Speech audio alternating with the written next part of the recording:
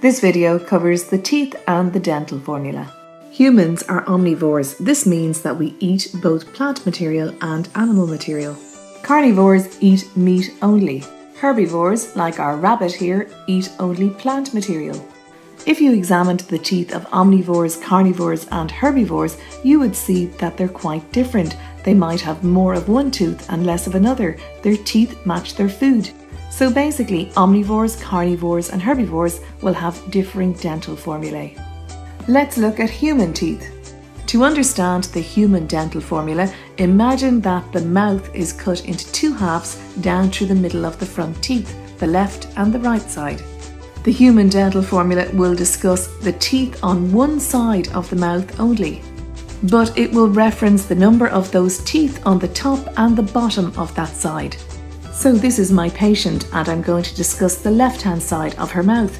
You can see that she has two incisors, two top and two bottom. Incisors are used for biting into food or nipping bits off. My patient has another type of tooth. She has a canine, one top and one bottom. These pointy canines are for tearing the food, particularly meat. Going to the back of my patient's mouth, you can see that she has two larger teeth, two on the top and two on the bottom, and these are known as the premolars. These premolars are for crushing and grinding food. As I reach the back of my patient's mouth, you can see that she has three molars, three top and three bottom and these large, wide molars are used for crushing and grinding food again. So basically, to write the dental formula for my patient, I label the incisors, the canine, the premolars, and the molars, top and bottom for one side only, and I put a 2 in front of the formula for the other side. You could be asked to match the dental formula of a particular animal to a photograph.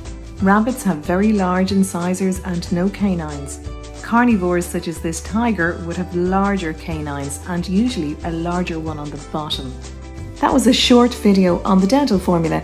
This chapter ties in with human nutrition, so don't forget to revise that.